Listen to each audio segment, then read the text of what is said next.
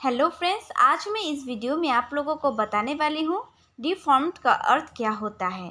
Deformed deformed deformed का अर्थ होता है विकृत, विरूपित या कुरूप या बेदंगा। मतलब वो व्यक्ति जिसका कोई अंग ठीक से काम ना करता हो या नहीं हो। तो चलिए इसको सेंटेंस के ज़रिए और भी अच्छी तरह से समझने की कोशिश करते हैं। One of his arms is deformed short इस सेंटेंस का अर्थ है, उसका एक हाथ विकृत है, छोटा। अगला example Mileena is a hideously deform clone of Kitana.